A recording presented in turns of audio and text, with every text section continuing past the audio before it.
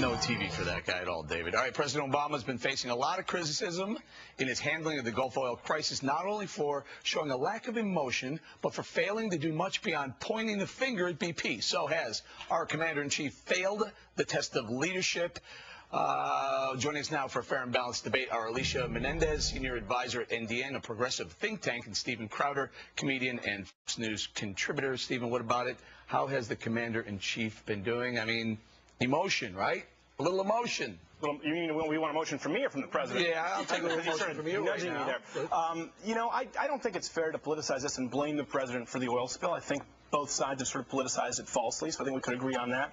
Um, what I do hate is that he's politicizing it with a false narrative, um, possibly by shutting down offshore drilling. I think that would be catastrophic uh, for the environment, both in the short and the long run. So I, I would hate to see that happen. Wait a minute. Did you guys switch sides? Hold on a second. So, what do you think? Do you, do you like the amount of emotion he's he's showing us? I mean, I remember the speech a couple of days ago where he said, you know, my daughter walked in the room and said, Daddy, did you fix the, fix the spill? Did you stop the spill yet?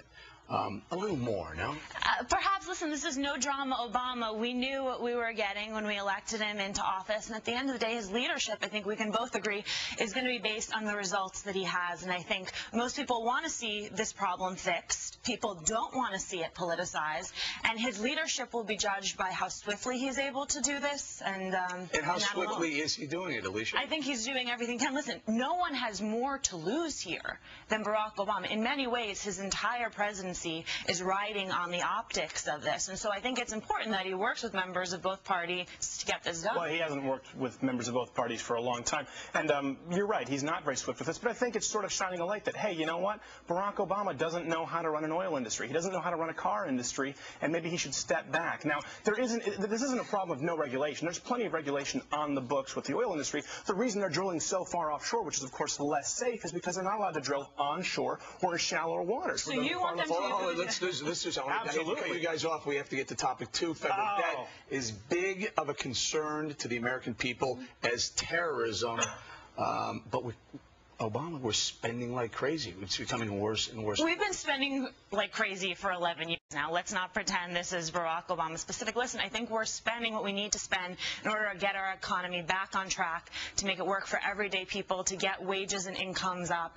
And after we have done all that, after we know that we are beyond the shade of doubt, uh, at full recovery, then we can start talking about our debt. But until then... Steven, course, Steven let me just preempt you here. $13 trillion in debt that happened right. last week. We really haven't spent at this accelerated, accelerated rate for 11 years. No, it's certainly not even comparable, and it hasn't worked in, in the past, and uh, it's not working right now. All, all, of the employment you're seeing is in the, the government sector, the public sector, not the private sector. This is sort of, I can understand why Barack Obama, President Obama, feels like he needs to spend. It's sort of like that class president who ran for it and promised kids, I'm going to get you free ice cream in the cafeteria. And now he realizes he has to do it but the ice cream costs trillions of dollars. Except that it's not ice cream. We're talking about spending money on defense, I thought we were literally talking about ice cream. Raging wars. So my question to you is, if you don't mm -hmm. want to spend, like, where would you cut this money?